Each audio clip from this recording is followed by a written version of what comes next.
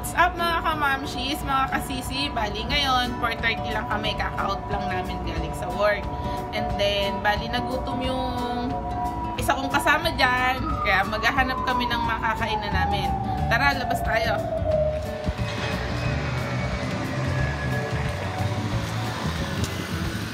Shout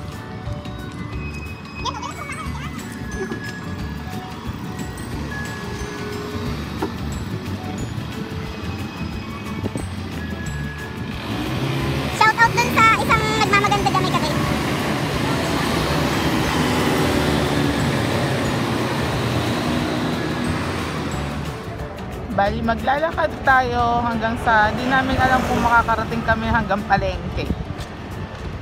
Kasi yung kakainan namin na kinikrave nung isa dyan, yung warm day, eh, mamaya pang 6.30 yung open.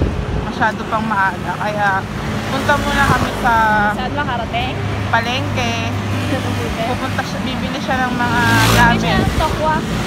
Tokwa daw. Yan, kaya see later guys. Yan guys, yan pala yung HTC dati. Pero ngayon, nabenta na siya sa Google. Dati maraming nagtatrabaho dyan. Pero marami rin silang pinauwi.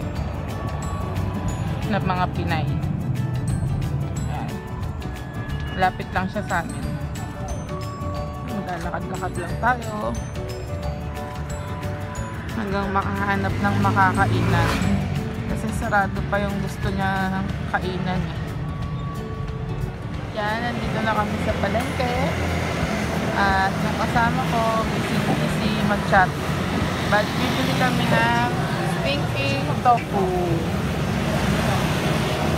Mabaho siya pero masarap. Pero masarap.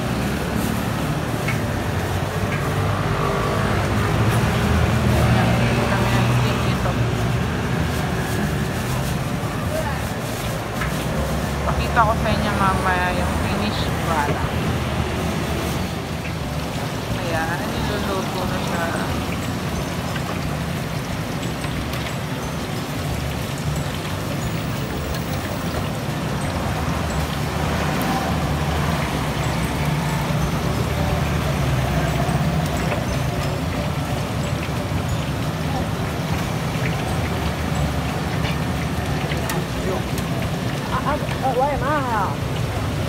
话佢啊，我总总总我玩的，你可能挨到那种程度的。像你这样，在挂机啊，无啦，不爸不是摆个机，是拿的什么物件啊？想要叫他做登记哦。无啦，我在这在挂机啊，他们要挂。就挂新没有啊？比较，嗯，嗯，嗯，哎，哎，哦，我叫他做登记哦。嗯这个比较少生。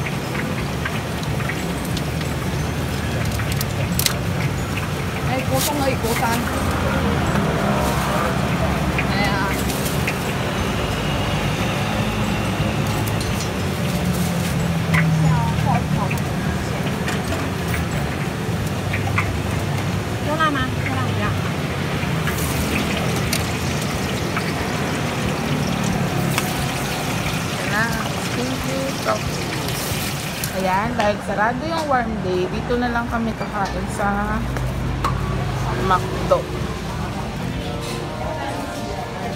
Dito na lang kami kakain. Pila lang kami din kain. Mamaya ulit.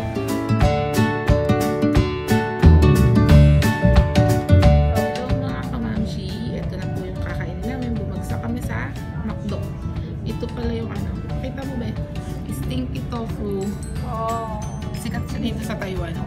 Bali, mabaho siya pero masarap siya.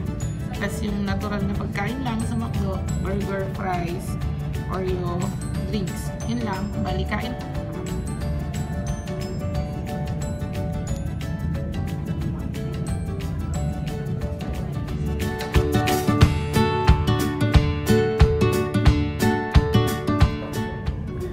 Gutom na gutom ang bata. Siya masaya kasi sarado yung one day. Ano masasabi mo sa Stinky tofu.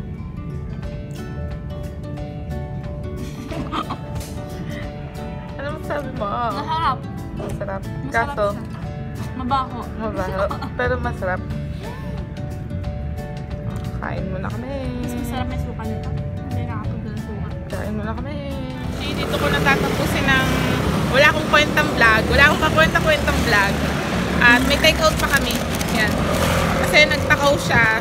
Madaming tokwa kaya hindi namin naubos yung map. O mga kamamshi, dito na namin tatapusin ang aking walang kwenta-kwentang vlog.